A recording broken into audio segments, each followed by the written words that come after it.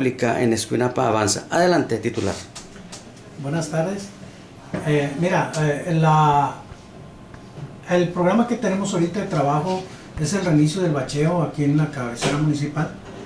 Y, además, pues, eh, se da, mañana se da el fallo de, la, del proyecto de Celaya destacada una línea de conducción. Eso tenemos de momento más reciente, ya se, se dio el anticipo de la biblioteca aquí de 15 millones, también aquí en la cabecera municipal. Y, y además, este, pues, lo que ya sabemos todos, la planta tratadora está por empezar también. Sí. ¿Ese presupuesto cuánto va a ser? De la planta Sí. son 18 millones aproximadamente. ¿Y para cuándo ya estará terminada? Eh, Terminada, ¿no? Pues tiene...